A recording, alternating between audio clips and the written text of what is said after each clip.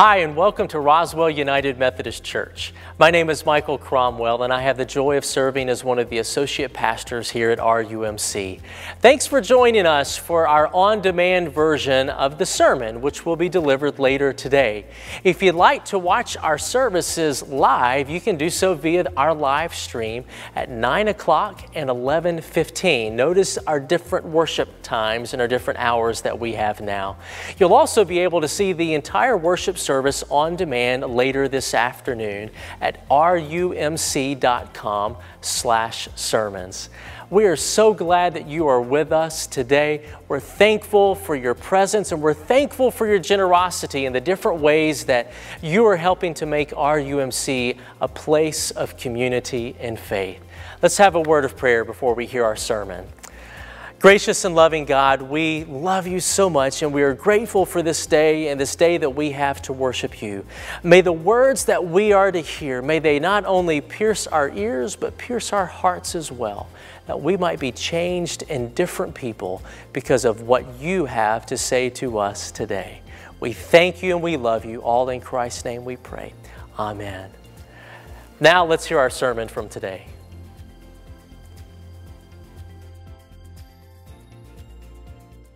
This morning I'll be reading from 2 Peter chapter 1, and I'll be reading verses 5 through 13, and this is what it says. Now, for this very reason also, applying all diligence in your faith, supply moral excellence, and in your moral excellence, knowledge. And in your knowledge, self control, and in your self control, perseverance, and in your perseverance, godliness, and in your godliness, brotherly kindness, and in your brotherly kindness, Christian love. For if these qualities are yours and are increasing, they render you neither useless nor unfruitful in the true knowledge of our Lord Jesus Christ. For he who lacks these qualities is blind or short sighted, having forgotten his purification from his former sins. Therefore, brethren, be all the more diligent to make certain about his calling and choosing you. For as long as you practice these things, you will never stumble. For in this way, the entrance into the eternal kingdom of our Lord and Savior Jesus Christ will be abundantly supplied to you. Therefore, I shall always be ready to remind you of these things, even though you already know them, and having been established in the truth which is present with you. And I consider it right, as long as I'm in this earthly dwelling, to stir you up by way of reminder. Let's pray. Jesus, this day, breathe your spirit on us that we might be stirred and respond. Thank you for your presence this day. May we never take it for granted. It's in Christ's name we pray. Amen. I read a story that uh, during the Civil War, a young man was tried and convicted of treason. He was sentenced to be hanged. Well, he was a young man, and his mother appealed to Abraham Lincoln that he spare the life of her son with a presidential pardon. Well, Lincoln did pardon the young man, but he's reported to have said this Still, I wish we could teach him a lesson. I wish we could give him a little bit of hanging. well, what exactly is a little bit of hanging? Well, it's enough to give you a shake, a stir, to bring to mind the things that, that, that you already know that are right, the things that you already know. And that's exactly what Peter is doing right here. He's writing to a church that was persecuted, a church that had become discouraged, a church that needed encouragement. And so he starts off his letter to this church to, to tell them the things that they already know. To, in his words in verse 13, to stir them up. To stir them up, to wake them up, to shake them up, to remind them of the things that they already know. The basics. And what are the basics? Well, he reads them out right here, starting in verse 5. He says that applying diligence in your faith diligence is as a practicing of faith. It's not diligence in diligence, it's diligence in your faith. Well, a lot of times we think of faith as, as something that's kept in our hearts or in our heads, and, and we're supposed to just think about faith more and more. Well, that's not what he's talking about, not at all. He's talking about a relationship with Jesus Christ. And that word faith has the same root as the word believe. We just use it in different ways in English. And that root in Greek is pistis and it means to lean on, to rely on, to trust in. It's, it's a practice. It's a practice. It's a diligent practice. It's something that we practice every minute of every day. To lean on, to rely on, to trust in Jesus and that relationship that we have with them. Paul was trying to let the church in Rome know this exact same thing. And he's writing to the church in Rome, a place that he's never been before. And in chapter 1, verse 16 and 17, he says, For I'm not ashamed of the gospel, for it is the power of God for salvation to everyone who believes. And then he goes ahead to say in verse 17, For in it, in the gospel, the righteousness of God is revealed from faith to faith. Well, it's not revealed from feeling to feeling, it's revealed from that relationship we have with, with Jesus, the leaning on Him, the relying on Him, the trusting in Him, to faith. To the leaning on, relying on, and the trusting in one another. From faith to faith. Lou Holtz tells a story about a fellow that was driving out in the country. He was enjoying the drive, he was joy- enjoying the peacefulness, and his mind began to wander, and that's when he drove into a ditch. Well, he couldn't get his car out of the ditch, so he walked to a farmer's house, asked the farmer for help. The farmer said, I believe I can help you out. He said, I've got a, a mule named Daisy. She can pull your, your car out of the ditch. Well, he walked with the farmer to the barn to where Daisy was, and he saw the most run-down mule he'd ever seen. Well, the farmer hooked the reins up to Daisy and walked Daisy over to the car, hooked a rope to the car and to Daisy, and then slapped the reins. and Said, "Come on, Daisy. Come on, Jack. Come on, Joe." And all of a sudden, Daisy came to life, perked right up, began to pull the car, and pulled his car all the way out of the ditch. Well, the man was so thankful, said, Thank you so much. I would have never thought Daisy would have the strength to pull my car out of the ditch. But why did you call Daisy and Jack and Joe? Well, that's when the farmer began to laugh. He said, If old Daisy thought she was the only one pulling, she wouldn't do a thing. Sometimes we get to thinking we're the only one pulling.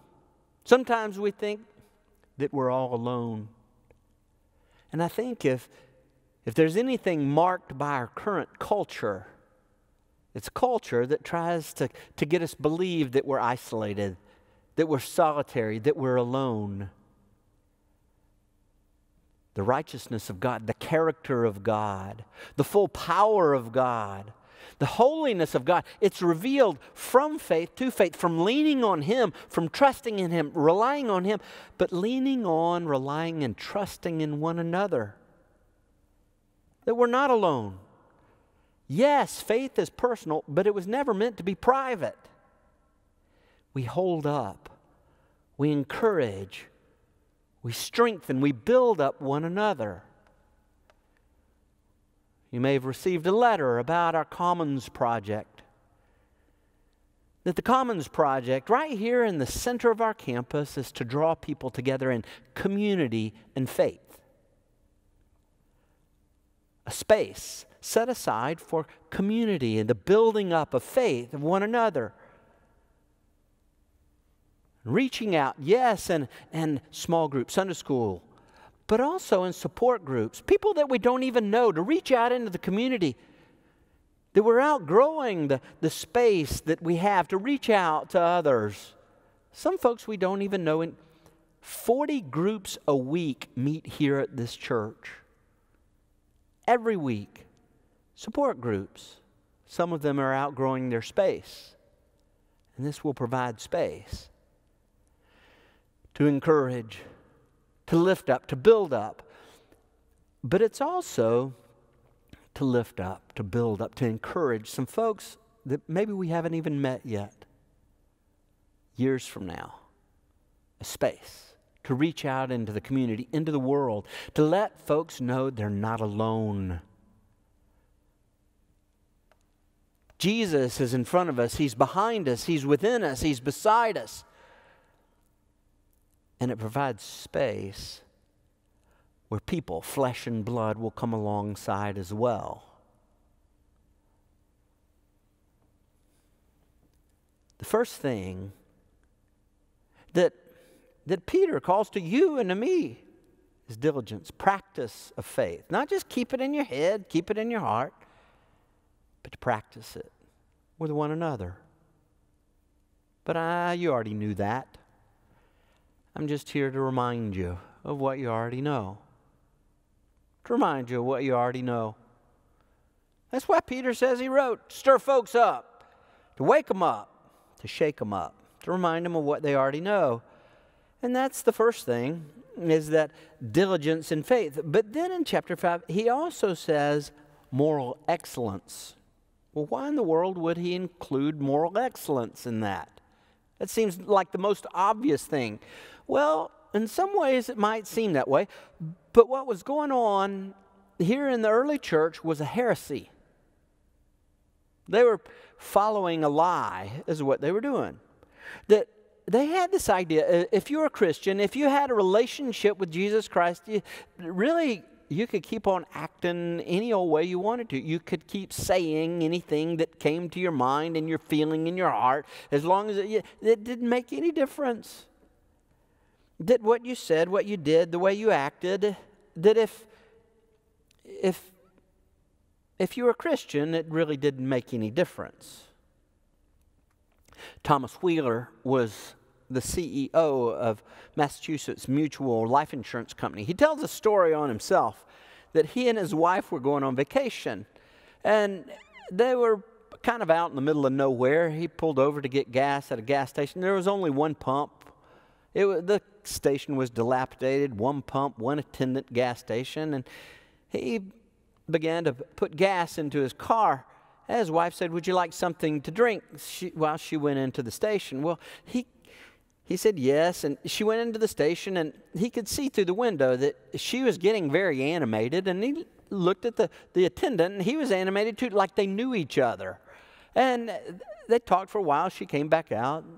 She gave him his drink, and they got back on the road. And then he turned to his wife said, You know, I saw you through the window. You were very animated, and so was the attendant there, like you all knew each other. She said, Knew each other? She, she said, I knew him very well. For two years we dated in high school. We almost got married. Well, Thomas Wheeler, he couldn't help but gloat a little bit. He said, Well, I guess you're glad that you married me. CEO of Massachusetts Mutual Life Insurance Company. Because if you'd married him, you'd be tied to that dilapidated old one pump, one attendant gas station. She said, Make no mistake, my dear. If I had married him, he would be CEO of Mass Mutual Life Insurance Company, and you'd be tied to a dilapidated one pump, one attendant gas station. I think it's a great story. Man, it has a truth to it. And the truth is, relationships matter that relationships matter. All of our relationships matter. They, they make a difference in the way that we act. The relationships, the people that we surround ourselves with, they make a difference in the way we speak. They make a difference in what we do. That relationships, well, they matter. And I do believe that the relationship with Jesus Christ is the most transforming relationship you or I will ever have if it's practiced. Practiced with a diligence. That the temptation in this culture is to act like culture, to speak like culture, to fit in with the culture. But God has much more for you and me than that. What he calls us is chosen, holy, and beloved. There's an intimacy that means we act with integrity. There's an intimacy that means we act with moral in- integrity, with a moral excellence. Not that we're holier than thou, but what's holy in Jesus Christ makes its way all the way to our mouths, all the way to our hands. That it doesn't stay parked in our hearts or our heads, that it's practiced. That it's practiced. Well, I'm not telling you something you've never heard before or something that's brand new. No, I'm just I'm reminding you of what you already know. Moral excellence, diligence, and faith. And there's a long list here, and don't worry, I'm not going to preach on every one of them in the long list, but I do want to mention one more that that that Peter to lift up to build the church calls for a diligence in faith and supply moral excellence and add to that knowledge and knowledge self-control and in self control, perseverance, and in perseverance, godliness, and godliness, brotherly kindness. And he wraps it all up by saying, and in brotherly kindness, Christian love. It was Jesus who said, The way that they'll know you're my disciples is that you have love for one another. It was the last night of his earthly life that he said that. And then in John, John chapter 16, excuse me, 15, verse 17, he said, this I command you, that you love one another. It's not think about loving or, you know, if you feel like it, love each other or try to love. It was a command that Jesus gave to his disciples, to you and to me. And it's the Apostle Paul in Galatians 6 too that says, Bear with one another's burdens and fulfill the law of Christ. That law of of love. That's what Peter uses to wrap around all of these reminders. The belt of love. That it's that belt of love that ties us together in unity. And, and Jesus, on the last night of his earthly life, in his, his, his final prayer, four times prayed for our unity, that we be tied together with the bands of love, with the strength of love.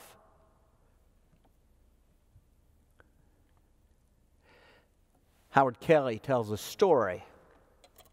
It's a story about when he was a young boy. By any measure, Howard Kelly would have been considered poor. He said that every once in a while, when he didn't have anything to eat, he would have to find things to go door to door in a small town to try and sell. Sometimes it'd be a magazine or a newspaper, anything he could get his hands on. And this particular day was one of those days. He was a young boy and he was knocking on doors to he doesn't remember what he was selling, but he he wasn't having any luck. He said he'd missed breakfast, he'd missed lunch, and the heat of the day was bearing down on him. And he told himself at the next house he was going to ask whoever answered the door for something to eat. But when the woman answered the door, she was so pretty, he forgot all about what he was going to say. So he just blurted out, May I have a glass of water? Well, she could see that he was weary and that he was beginning to falter. And so instead of bringing him a glass of water, she brought him four large cookies and a glass of milk. And Howard Kelly says that when she did that, that his faith in God was renewed by that simple act of kindness that his faith in God was renewed by the simple act of kindness. Fast forward many years later, the woman who had given Howard Kelly the four cookies and large glass of milk grew very sick. And the doctor in that small town told her that he couldn't help her, but there was a specialist in a distant city that could. She referred the woman to the specialist in the distant city. That specialist was Dr. Howard Kelly. He didn't remember the, the woman's name, but he did know the doctor that referred her. And when he walked into the room to meet the woman, that's when Dr. Kelly recognized her. Well, he didn't say anything at that time. That what he did do was attend to this sick woman day and night, and he saved the life of the woman. When she got when she grew well and got ready to, to leave the hospital, she received the bill.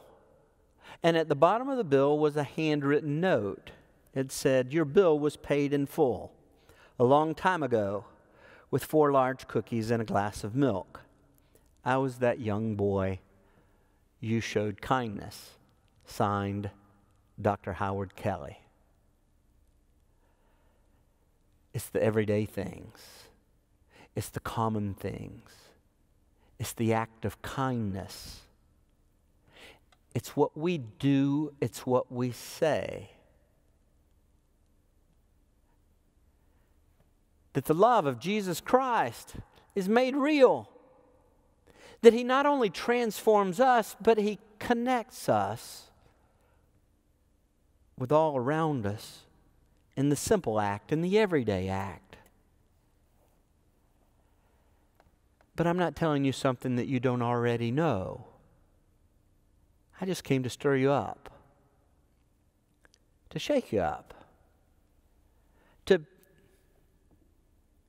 to wake you up,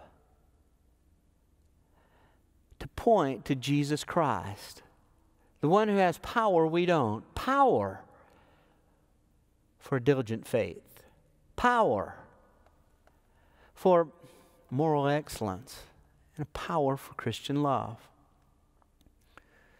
This morning, it may be that you're in that place. That place where you feel distant. That place where you feel lost and forgotten. Sitting alone will not change the feeling. Jesus Christ can.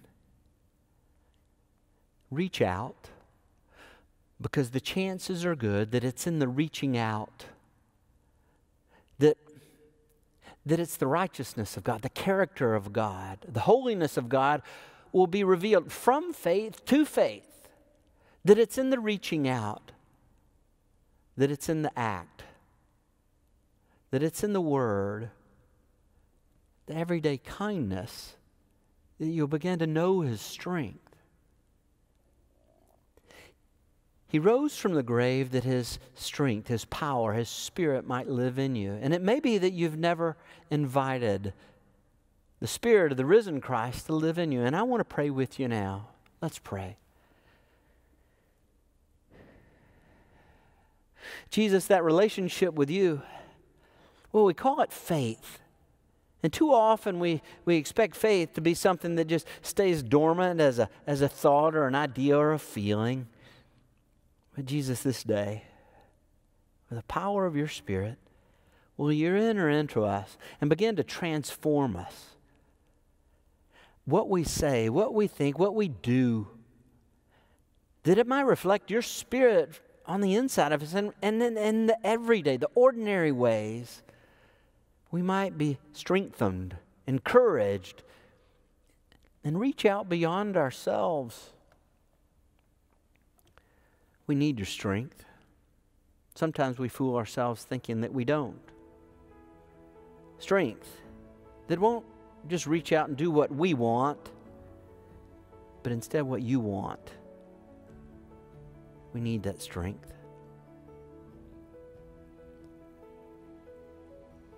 We need your encouragement.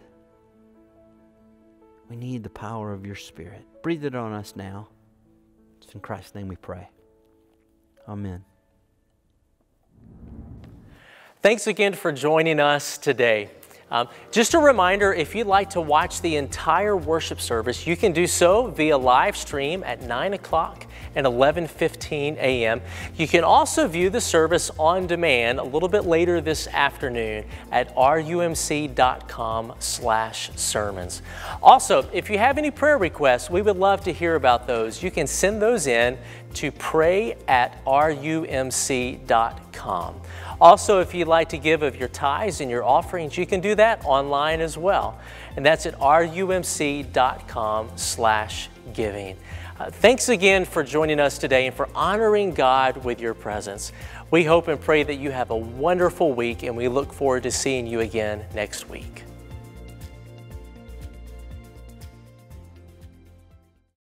Hi, thank you for joining us. My name's Tom Davis. I'm senior pastor here at Roswell United Methodist Church.